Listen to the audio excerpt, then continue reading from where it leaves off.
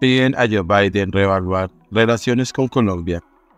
Rick Scott, senador de la Florida por el Partido Republicano, le ha solicitado al presidente Joe Biden que reevalúe las relaciones con Colombia por las declaraciones hostiles y antisemitas que el presidente Gustavo Petro realizó después de que los terroristas de Hamas respaldados por Irán torturaran y masacraran a más de 1.400 hombres, mujeres y niños israelíes y al menos a 33 estadounidenses el 7 de octubre de 2023 durante los ataques a Israel.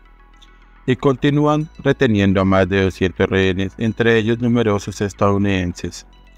La solicitud del Senado de Scott fue expresada a través de una comunicación escrita dirigida al presidente de los Estados Unidos, en la cual detalla que el presidente Petro tiene un burdo historial de oposición a los intereses estadounidenses y ahora ha cruzado una nueva línea al culpar a Israel por las atrocidades cometidas por estos terroristas de Hamas, respaldados por Irán, y comparar a Israel con una Alemania nazi. Está claro, dice, que las posiciones adoptadas por la administración del presidente Petro requieren un examen completo de la relación entre Estados Unidos y Colombia. En la visiva también se alerta sobre las relaciones de Gustavo Petro con su homólogo venezolano, Petro, como presidente, en uno de sus primeros actos restableció las relaciones diplomáticas con el régimen ilegítimo de Maduro en Venezuela, un régimen que con el entusiasmo se hace amigo de los gobiernos de Cuba, Rusia, la China comunista y el régimen iraní, que son los principales adversarios de Estados Unidos. De acuerdo al senador republicano, el peligro de mantener las relaciones de Estados Unidos con Colombia tal como están actualmente radica en el no querer observar las señales que el presidente comunista ya está dando. En abril, Petro se alineó oficialmente con la China comunista al anunciar que el gobierno colombiano no tendrá ningún contacto con el gobierno de Taiwán. Apacigua a grupos narcoguerrilleros como el Ejército de Liberación Nacional ELN y se pone del lado del ilegítimo régimen comunista cubano al ver que Cuba sea eliminada de la lista estadounidense de estados patrocinadores del terrorismo.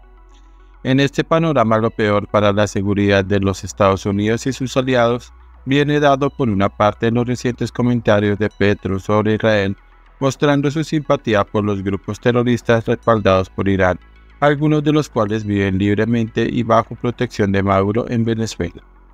En 2017 se reveló que el régimen de Maduro utilizó su embajada en Irak para vender pasaportes e identificaciones venezolanas a personas del Medio Oriente, incluidas personas relacionadas con Hezbollah.